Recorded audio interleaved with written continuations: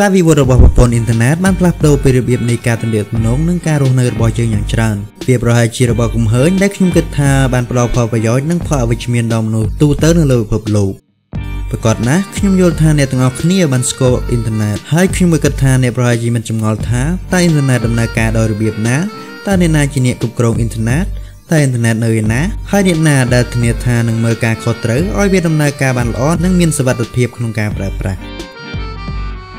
នៅក្នុងវីដេអូនេះដែរយើងនឹងជជែកអំពីការវិវត្តនៃការកកើតឡើងរបស់ប្រព័ន្ធអ៊ីនធឺណិតហើយនឹងអង្គភាពដែលមើលការកត់ត្រូវប្រព័ន្ធអ៊ីនធឺណិតចាប់តាំងពីដើមរហូតដល់ពេលបច្ចុប្បន្ននេះ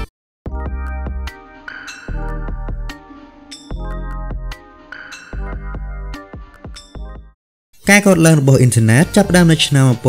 1969នៅក្នុងពេលនោះនាយកដ្ឋានការពារសហរដ្ឋអាមេរិកមានទីតាំងស្រាវជ្រាវមួយដែលឲ្យឈ្មោះថាភ្នាក់ងារស្រាវជ្រាវគម្រោងជាន់ខ្ពស់ឬ Alpha គោលដៅរបស់ Alpha គឺបង្កើតឡើងដើម្បីការស្រាវជ្រាវទៅលើប្រព័ន្ធបច្ចេកវិទ្យាផ្សេងៗហើយជាពិសេសប្រព័ន្ធអ៊ីនធឺណិតដែលយើងទាំងអស់គ្នាកំពុងប្រើប្រាស់នាពេលបច្ចុប្បន្ន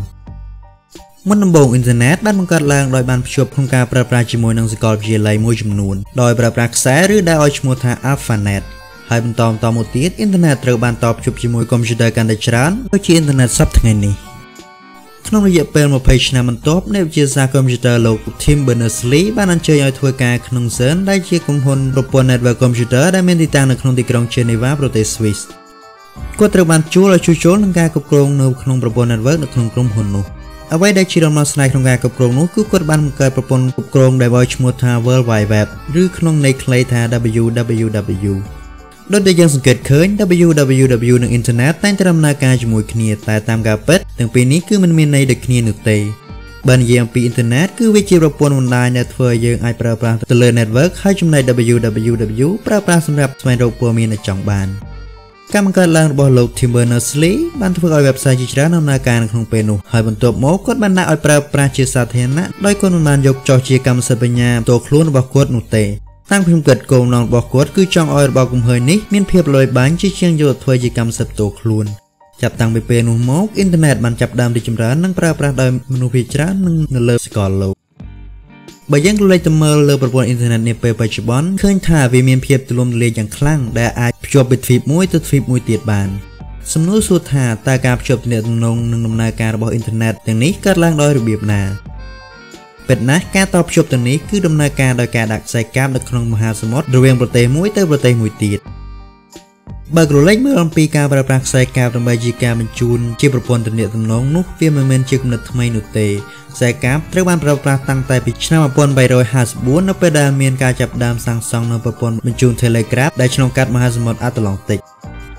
ដំណើរការនៃការដាក់ខ្សែកាបទាំងនោះគឺមានភាពសាមញ្ញនិងងាយស្រួលហើយខ្សែកាបទាំងនោះគឺពុំមានអ្វីជាលក្ខណៈពិសេសនោះទេវាភ្ជាប់ដោយស័យអុបទិកនិងរុំជុំវិញដោយការការពារពីបំផ្លាញនៅក្នុងសមុទ្រ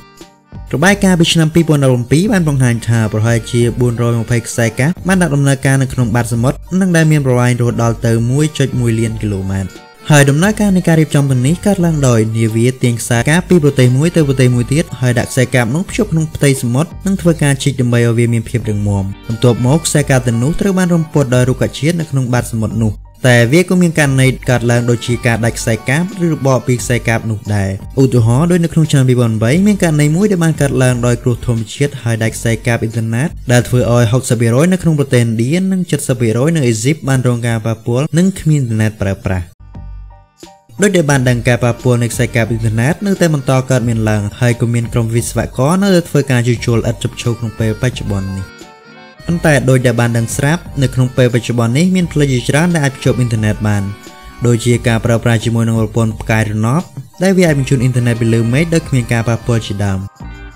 បន្តមកខ្សែកាបវិញបន្ទាប់ពីវាបានដាក់ឆ្លងកាត់ទៅតាមប្រទេសហើយក្នុងប្រទេសនោះត្រូវបានបែងចែកនិងរំឡើងនៅក្នុងប្រទេសរបស់ខ្លួនដោយអ្នកបានឃើញនៅតាមមុខផ្ទះអ្នកជាដើម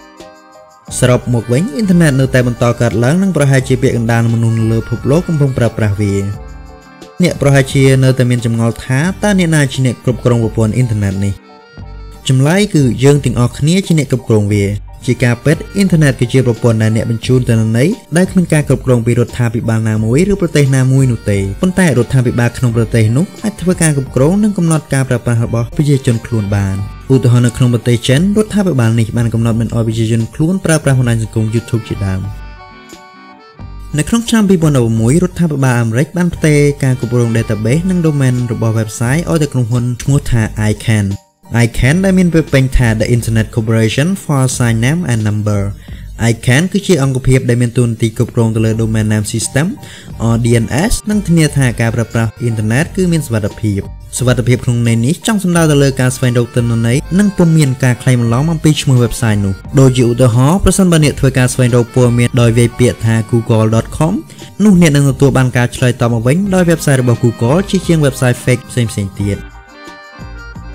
ជារៀងរាល់3ខែម្ដងក្រុមអ្នកមើលការខុសត្រូវទាំងនោះមកជុំគ្នាដើម្បីធ្វើការពិភាក្សានិងធានាឲ្យបានថាប្រព័ន្ធ DNS គឺមានសុវត្ថិភាពសម្រាប់រយៈពេល3ខែបន្ទាប់ការពិភាក្សានោះធ្វើឡើងដោយមានការគ្រប់គ្រងដ៏តឹងតែងបំផុតនៅទីកន្លែងនោះគឺមានសន្តិសុខមើលការខុសត្រូវយ៉ាងម៉ត់ចត់គន្លឹះសុវត្ថិភាពនិងកណ្ដឹងសញ្ញាប្រកាសអាសន្នជាដើមកណ្ដឹងនោះគឺត្រូវបានរៀបចំដែលអាចឆ្លើយតបទៅនឹងហេតុការណ៍ដ៏លឿនបំផុត ដោយហេតុការណ៍មួយដែលបានកើតឡើងគឺបុគ្គលិកបានប៉ះទៅនឹងកន្លែងប្រកាសអាសន្នហើយកណ្ដឹងនោះបានមិនលឺឡើងដែលបានចាក់សោអ្នកចូលរួមនៅក្នុងទ្រុងហើយទ្រុងនោះទើបធ្វើការគោះទៅបាច់បញ្ចេញពូកអ្នកជាប់នោះបានចំពោះសោវិញគឺត្រូវបានដាក់នៅក្នុងឧបករណ៍ cryptographic ប្រសិនបើឧបករណ៍នោះធ្លាក់ឬទទួលរងនៅកម្ដៅខ្លាំងនោះទិន្នន័យទាំងប្រមាណដែលមាននៅក្នុងវានឹងត្រូវបានលុបចោលទាំងអស់សនោះគឺអនុញ្ញាតឲ្យគ្រប់គ្រងដោយបុគ្គល5នាក់ប៉ុណ្ណោះហើយក៏គ្មានអ្នកណាផ្សេងអាចបង្កើតសនោះបានឡើយ។ រាល់ការប្រើប្រាស់គឺតម្រូវឲ្យអ្នកទាំង5នោះមូលទាំងអស់គ្នាទៅអាចប្រើប្រាស់បាននេះគ្រាន់តែជាអង្គភាពមួយដែលជួយនឹងធានាថាអ៊ីនធឺណិតដំណើរការល្អក្នុងការប្រើប្រាស់តែវាក៏មានអង្គភាពផ្សេងៗទៀតដូចជា Engineering Task Force ហើយនិង World Wide Web Consortium ដែលគ្រប់គ្រងដោយលោក Tim Berners-Lee អង្គភាពទាំងនេះកំណត់ស្តង់ដារនិងធានាថាអ៊ីនធឺណិតមានសុវត្ថិភាពនិងបើកចំហ ច្បាស់ណាស់ដែលយើងមិនអាចបដិសេធបាននោះគឺអ៊ីនធឺណិតពិតជាបានផ្លាស់ប្ដូរជីវិតរបស់យើងទាំងទំនាក់ទំនងនិងការរស់នៅប្រចាំថ្ងៃវាគឺជាប្រភពចំណេះដឹងនិងបណ្ដុំនៃព័ត៌មានដែលស្ថិតនៅក្នុងរង្វង់ដីរបស់យើងបណ្ដាញទំនាក់ទំនងសង្គមក៏ជាផ្នែកមួយយ៉ាងសំខាន់ដែលបានបដូរពីការរស់នៅទៅលើការប្រើប្រាស់អ៊ីនធឺណិតខ្ញុំក៏យល់ស្របដែរថាអ៊ីនធឺណិតក៏បានផ្ដល់ផលអវិជ្ជមានមួយចំនួនទៅលើអ្នកប្រើប្រាស់នោះគឺដោយសារធម្មជាតិរបស់មនុស្សគឺស្ដីបន្ទោទៅលើភាពមិនងាយស្រួលជាជាងសម្របវា តែបើយើងក៏លេចទៅមើលលើផលវិជ្ជមាននោះឃើញថាអ៊ីនធឺណិតបានផ្ដល់ផលប្រយោជន៍យ៉ាងច្រើនដល់អ្នកប្រើប្រាស់អ៊ីនធឺណិតបានជួយសិល្បករអ្នកសារព័ត៌មាននិងអ្នកដែលមានទេពកោសល្យនៅលើពិភពលោកទទួលបានការគ្រប់គ្រងនិងភាពល្បីល្បាញរបស់ខ្លួនដូចជាឧទាហរណ៍អ្នកប្រហែលជាមិនបានស្គាល់ Channel The Knowledge Plus នោះទេបើមិនបើគ្មានអ៊ីនធឺណិតសរុបមកវិញដោយដែលយើងបានឃើញនៅខាងលើអ៊ីនធឺណិតគឺពិតជាមានសក្តានុពលយ៉ាងខ្លាំងលើជីវិតរបស់យើងតែយើងក៏ត្រូវតែប្រើប្រាស់វាឲ្យបានត្រឹមត្រូវផងដែរ អ៊ីនធឺណិតនេះទៀតសោតក៏កំពុងឈានទៅប្រព័ន្ធដំណើរការដែលលឿនជាងមុនជាមួយសេវា 5G ដោយដែលយើងបានអានព័ត៌មានមួយចំនួននៅក្នុងប្រទេសខ្លះសេវា 5G បានដាក់សាកល្បងឲ្យប្រើប្រាស់និងប្រទេសខ្លះទៀតអាចនឹងទៅដល់2ទៅ3ឆ្នាំបន្ទាប់ចំណែកប្រទេសកម្ពុជាយើងវិញសេវា 5G គឺនឹងរំពឹងទុកក្នុងការដាក់ឲ្យប្រើប្រាស់ជាផ្លូវការនៅដើមឆ្នាំ2021ដោយរដ្ឋាភិបាលបានចុះកិច្ចព្រមព្រៀងជាមួយនឹងក្រុមហ៊ុន Huawei ដែលជាក្រុមហ៊ុនអ្នករៀបចំប្រព័ន្ធ 5G ធំបំផុតនៅលើពិភពលោក ទន្ទឹមនឹងការប្រើប្រាស់ទូលាយនិងដោយសេរីអ៊ីនធឺណិតក៏កំពុងប្រឈមនឹងបញ្ហាដែលបានកើតឡើងនោះដែរហើយខ្ញុំគិតថាខ្ញុំគួរតែចែករំលែកឲ្យអ្នករាល់គ្នាបានដឹង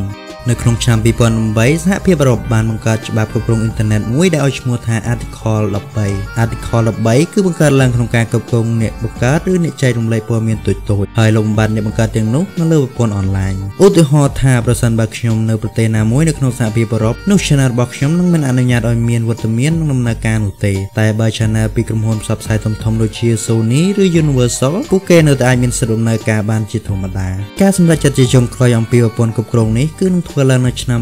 2022ហើយក៏មានអ្នកបង្កើតឬឆានែលទូចៗជាច្រើនកំពុងតែធ្វើការតស៊ូមតិដើម្បីកុំឲ្យច្បាប់នេះដាក់ជាធម្មនុញ្ញប្រសិនបើអ្នកចង់ដឹងព័ត៌មានលម្អិតអំពីដំណើរការនៃច្បាប់នេះខ្ញុំនឹងដាក់ link នៅក្នុង description ខាងក្រោមហើយបើសិនបើអ្នកចង់ខ្ញុំធ្វើវីដេអូដែលនិយាយលម្អិតអំពី article 13នេះនោះអ្នកអាចធ្វើការ comment ខាងក្រោមបាន